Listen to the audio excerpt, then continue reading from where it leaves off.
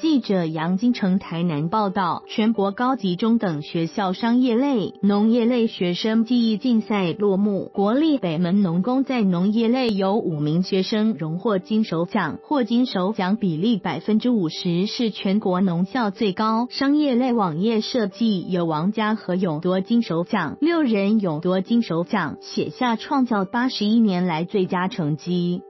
北农六名金手奖得主是造园景观植类朱曼云、食品检验分析张明慧、园艺蔡家修、畜产保健陈建忠、食品加工邱静、网页设计王家汉。而金子林、吴俊伟、王如玉、黄雅贝四人荣获优胜。被农另在食品检验分析之类获得第一名团体奖，园艺职种荣获团体奖第三名，畜产保健职种荣获团体奖第四名，食品加工职种荣获团体奖第五名。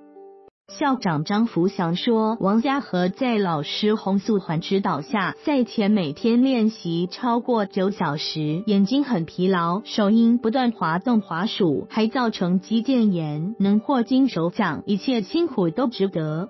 王家和读综合高中学成，二年级才读专业科目，比一般高职生又慢了一年。洪素环说：“偏乡高职学生只要愿意多付出、多努力，表现不会比都市学生逊色。”王家和说：“希望未来升上国立大学后，精研网页设计，有兴趣加努力，期许未来能出头天。”